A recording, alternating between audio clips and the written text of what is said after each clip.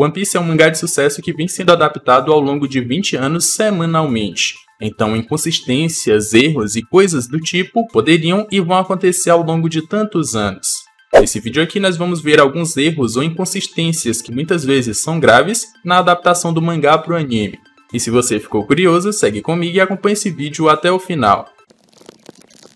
Fala galera, meu nome é Lucas com mais um vídeo de One Piece aqui no canal. Dessa vez falando sobre erros graves que aconteceram na adaptação do mangá para o anime. Eu já fiz até um outro vídeo só comentando sobre as diversas diferenças, mas esse vídeo aqui é falando sobre erros mesmo só do anime. E se você quiser assistir os outros vídeos falando sobre One Piece, eu recomendo assistir esse vídeo até o final, que lá eu vou te relembrar. Por enquanto, já deixa aquele likezão, se inscreve no canal se ainda não for inscrito, e agora sem mais enrolação, bora pro vídeo. O contexto dessa primeira cena, ou desse primeiro momento, é o seguinte. O Luffy está em cima do Uzi, é aquele touro lutador lá do Coliseu Corrida em direção ao do Flamengo. No meio do caminho, ele dá de cara com o Pika e ri da sua voz, o que acaba por sendo o comandante inimigo. Ele fica pistola e resolve atacar com tudo. Mas aí o Luffy pula em direção ao seu corpo gigante e acaba estourando sua cabeça de pedra. Após isso, ele continua seu caminho, mas só que correndo ao lado do Uzi e não mais em cima dele. Furioso, Pika resolve aparecer com seu corpo real para fazer o Luffy pagar por aquela risada.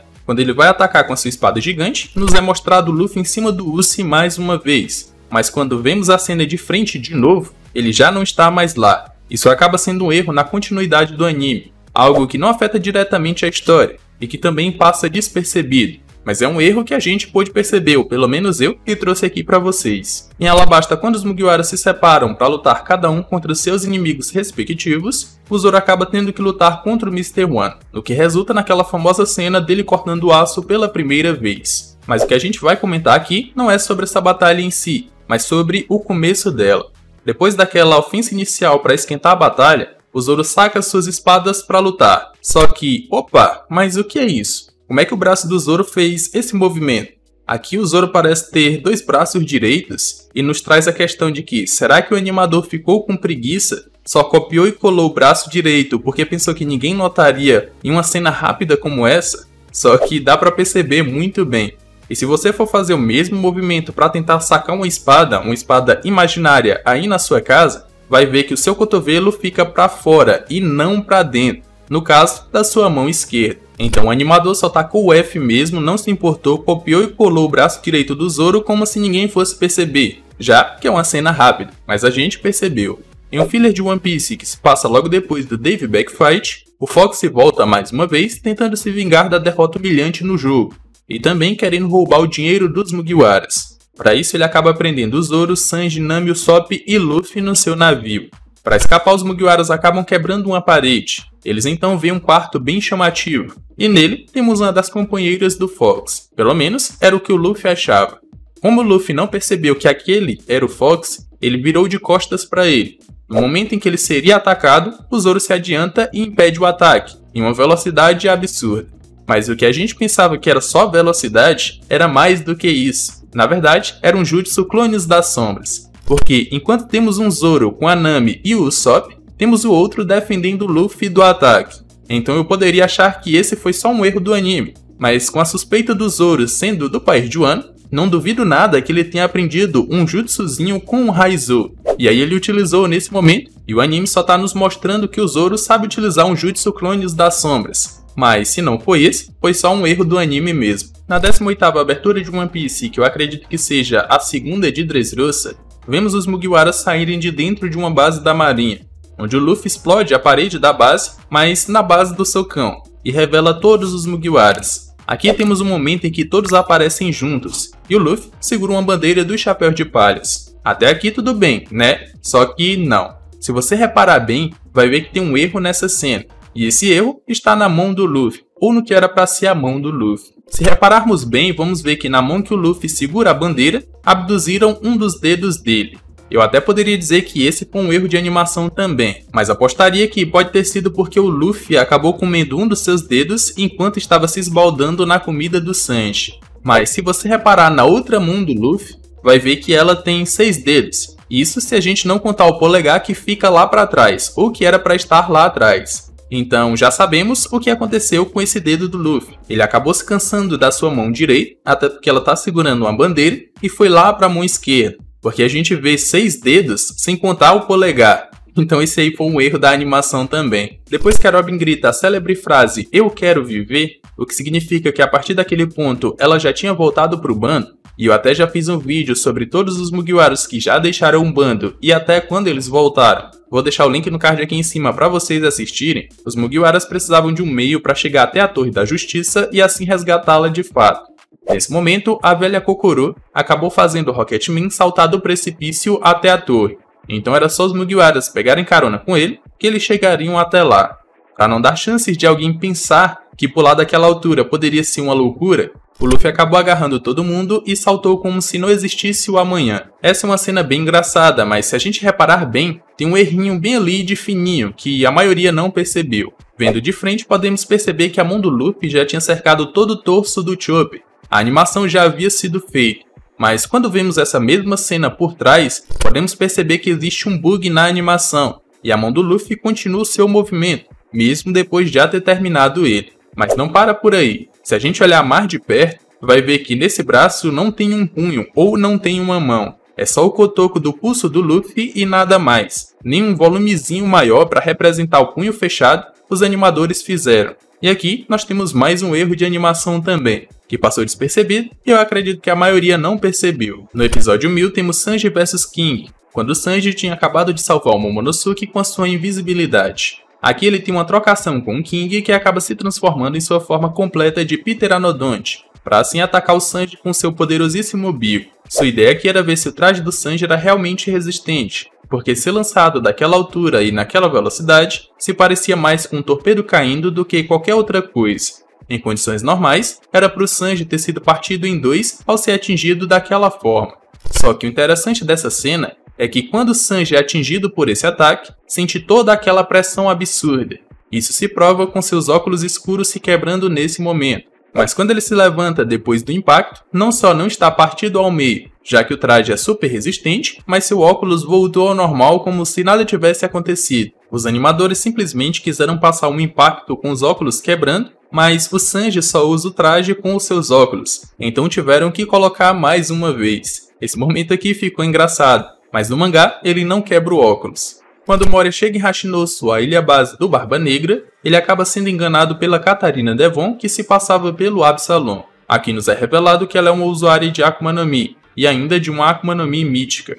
Nesse caso, a Inu Inu no Mi modelo Kyubi no Kitsune, ou Raposa de Nove Caudas. Até aqui tudo bem, uma raposa mítica capaz de se transformar completamente em outra pessoa, até com as roupas e o jeito daquela pessoa, mas que tem que se transformar na raposa como intermediária, para voltar para sua forma normal ou se transformar em alguém mais uma vez. Também já fiz um vídeo só falando sobre as Ones míticas ranqueadas aqui no canal. E se você ainda não assistiu esse vídeo, eu vou deixar o link no card aqui em cima para vocês. Mas o detalhe ou erro está na transformação em raposa. Só lembrando, é uma raposa de 9 caudas. 9. Então, contem comigo. 1, 2, 3, 4, 5, 6, 7, 8, 9, 10. Isso mesmo. Não perceberam que tinha uma cauda a mais e colocaram assim mesmo. Eles colocaram no mais absoluto F e não se importaram no resultado final. Então a raposa que era para ter 9 caudas acabou tendo 10. Um erro que veio só do anime. Quando a aliança estava invadindo Onigashima para matar o Kaido, eles acabaram se dividindo em grupos para se infiltrar disfarçados como membros do bando. Um desses grupos teve que passar pelo Distrito dos Prazeres, mas com muita calma e silêncio, para que o plano não fosse descoberto. O que eles não contavam era que a Big Mom, só um dos Yonkous, iria estar ali. E quando ela deu as caras, todo mundo se escondeu de alguma forma, ou quase todo mundo. Esse momento aqui é bem engraçado e não tem um problema aparente, correto? Não, errado. Se você reparar bem, alguns samurais pularam na água para se esconder. Um deles foi o Kinemon, e depois eles seguiram em frente. O problema é que o Kinemon é um usuário de Akuma no Mi e não poderia estar na água daquele jeito ou com o corpo quase totalmente submerso. Mesmo que a gente pense que ele está agarrado em algo ou que alguém está por baixo dele, ainda assim era para demonstrar alguma certa fraqueza, assim como todos os outros usuários de Akuma no Mi. Mas ele aparentemente está totalmente submerso sozinho e de boa. Como se não fosse um usuário de Akuma no Mi. Esse erro aqui é bastante absurdo e grave, um dos mais graves da animação. Na luta contra o do Flamengo, Luffy joga suas famosas havaianas indestrutíveis para longe, antes de se transformar. Essa cena gera até um certo impacto para o que vem depois. Aí o Luffy finalmente usa seu Gear Force Baldaman e se torna um homem saltitante. Até esse momento, nenhum problema. Só quando ele ataca o do Flamengo e sua Havaianas aparece no seu pé mais uma vez. E não, ele não calçou de novo. Até porque se ia fazer isso, era só não ter jogado elas para longe. Elas simplesmente apareceram de novo nos seus pés, brotaram do nada. Mas como isso não é relevante para a luta, segue o roteiro. Mas fica aqui a menção a esse momento glorioso. Mais um, nós temos um momento em que o Ace encontra o Shanks para agradecer por ele ter salvo o Luffy. Mas como que o Shanks salvou o mesmo Luffy? Ah, lembro. Ele sacrificou seu braço esquerdo contra o Rei dos Mares. Hum, entendi. A partir desse ponto ele acabou ficando com um dos seus braços e acabou virando um Kotoku. Entendi. Então, o que o Shanks faz com dois dos seus braços no encontro com o Ace? Se ele realmente tivesse com seus dois braços nesse momento ou atualmente, o Ace não precisaria estar ali para agradecer e ele nem teria conhecido Luffy.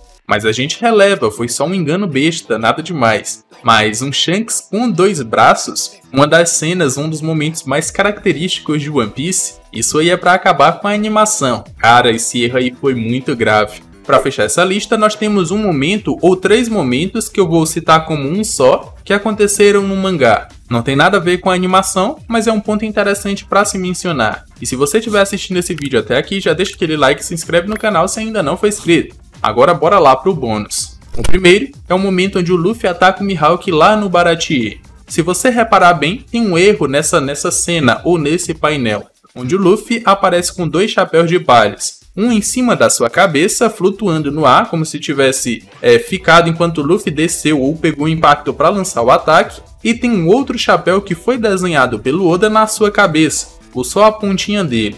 Pode ser que os assistentes do Oda não perceberam que ele tinha desenhado o chapéu na cabeça do Luffy, só que apareceu só a pontinha. E eles foram lá e desenharam o chapéu em cima do Luffy também. Um outro momento foi a fruta do Kanjuro. Quando é revelada ou quando Orochi dá a fruta para o Kanjuro, nós não vemos aquele padrão circular de todas as Akuma no Mi. Esse erro saiu primeiro nos capítulos semanais, mas depois, quando foi para o volume físico, já estava corrigido. E esse aqui foi mais um erro do mangá. Para fechar esses erros que aconteceram só no mangá, nós temos o Luffy socando a cara do Kaido transformando ele em borracha, onde o soco do Luffy atravessa a cabeça do Kaido ou aparentemente atravessa, porque não atravessou e isso causou confusão no momento em que esse capítulo foi lançado. Porque o Luffy só emborrachou a cabeça do Kaido e fez ela esticar até onde não poderia mais. Mas só que o punho do Luffy continuou da mesma cor da pele do Luffy, o que deu a impressão que o soco atravessou. Só que depois foi corrigido,